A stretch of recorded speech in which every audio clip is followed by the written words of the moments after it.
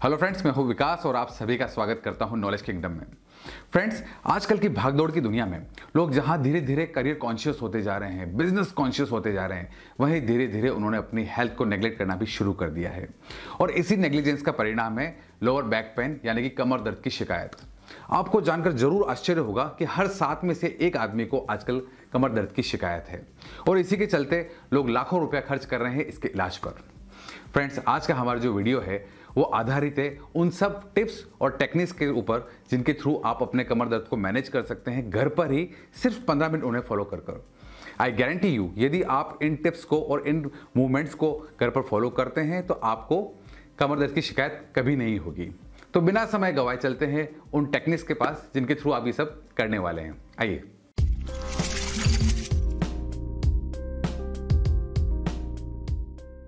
तो आइए फ्रेंड्स कमर दर्द को रोकने के कारणों पे बात करने से पहले हम ये समझते हैं कि आखिर ये दर्द होता क्यों है और इसकी वजह क्या है।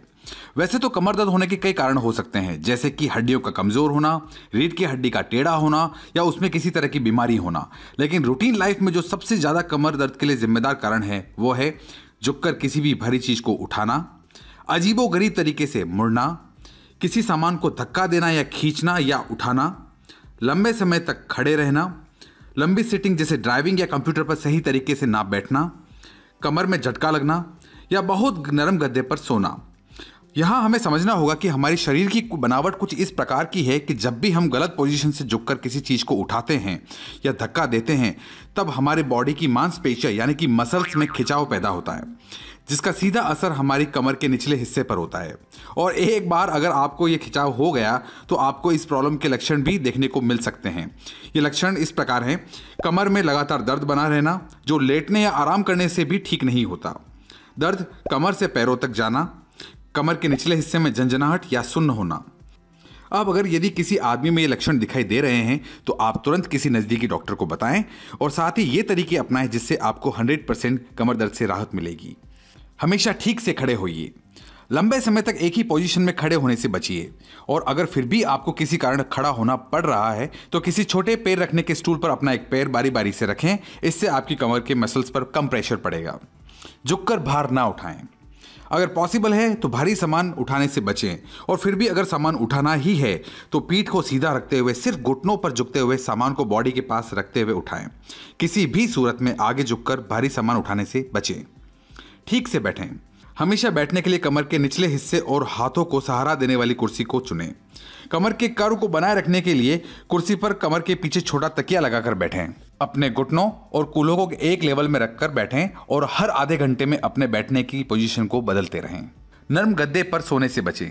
नरम गद्दे देखने में तो बड़े आरामदायक लगते हैं, लेकिन सच ये है कि ये हमारी कमर के सबसे बड़े दुश्मन हैं। इसीलिए रेकमेंड किया जाता है कि आप हमेशा किसी फ्लैट या हार्ड सरफेस पर ही सोएँ। अच्छा होगा कि आप वुडन बेड पर सिर्फ़ दरी बिछाकर सोएँ। वज़न कम करें।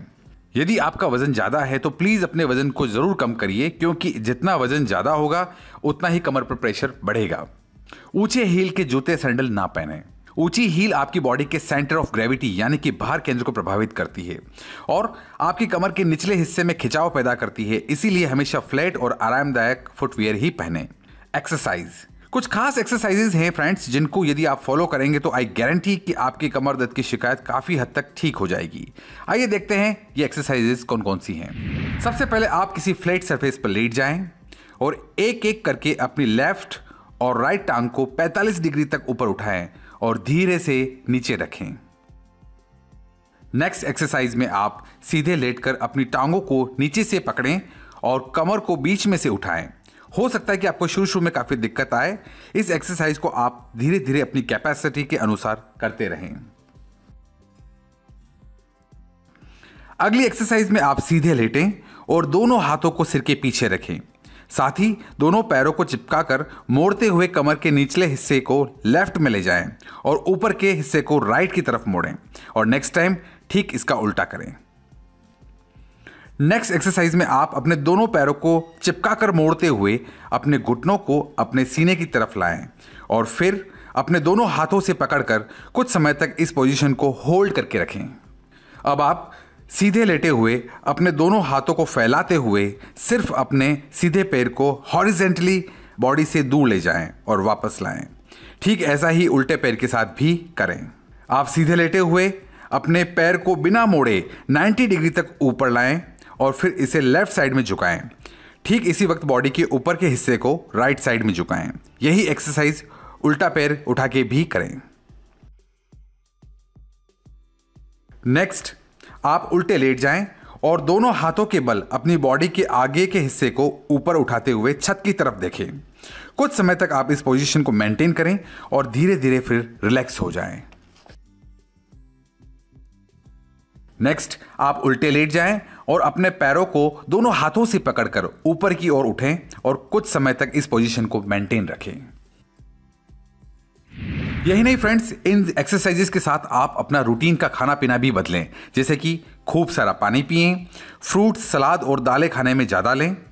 तुलसी, अदरक, मेहंदी, लहसुन, प्याज, हल्दी जैसे एंटी इन्फ्लामेटरी कंटेंट जो पीठ दर्द में बहुत फ़ायदा करते हैं, लें। जैतून का तेल, हरी चाय और चमकीले रंग के फल और सब्ज़ियाँ, जैसे कि गोभी और पालक स्पाइनल कॉर्ड में सूजन को कम करने का भी काम करते हैं। इन्हें आप ज़रूर लें। इनके अलावा कुछ ऐसी चीज़ें हैं जिनसे आपको दूरी बनानी है। वो है फास्ट फ़ूड ब्रेड पास्ता चावल कोल्ड ड्रिंक्स स्नैक्स तली हुई चीज़ें कैफीन और शराब। कमर दर्द के मामले में बहुत सारी मिथ्याएँ हैं, बहुत सारे मिसकॉन्सेप्शन है फ्रेंड्स कई सारे मामले में सारे इलाज काम नहीं करते हैं। आइए डिस्कस करते हैं वो सारे इलाज जो एक्चुअल में आपके लिए बेकार हैं और आप उन्हें ट्राई भी ना करें। इसमें सबसे पहले हमारे पास है एस्पिरिन और आइबुब्रूफेन ये थोड़े समय के लिए दर्द दूर करते हैं, लेकिन इनके इस्तेमाल से वास्तविक बीमारी पर कोई फ़र्क नहीं पड़ता। इसलिए आप इन्हें ना लें। एक्यूपंक्चर शरीर के विशेष अंगों या नसों पर दबाव डालकर दर्द से निजात पाने की जो टेक्निक है, इसे हम एक्यूपंक्चर कहते हैं। एक्चुअल में यह पद्धति साइंटिफिकली काम नहीं करती, इसलिए आप इसका यूज़ ना करें। मैग्नेट चुंबकीय गैजेट बनाने वाली कंपनियाँ दर्द से छुटकारा दिलाने के तमाम दावे करती हैं। लेकिन रियलिटी यह है, फ्रेंड्स, कि इसका कोई असर नहीं होता है। रिसर्च ने बताया है कि इनका इस्तेमाल करना टाइम वेस्टिंग है। आशा है दोस्तों यह जानकारी आपको पसंद आई होगी। यदि ये जानकारी आपको पसंद आई है तो इस चैनल नॉलेज किंगडम को सब्सक्राइब करना ना भूलें और साथ में आने वाले बेल आइकन को प्रेस करना ना भूलें, ताकि आप हमसे जुड़े रहें और आपको और भी रोचक वीडियो के अपडेट्स समय समय पर मैसेज के रूप में अपने मोबाइल पर मिलते रहें। Thank you so much. Thanks for watching this video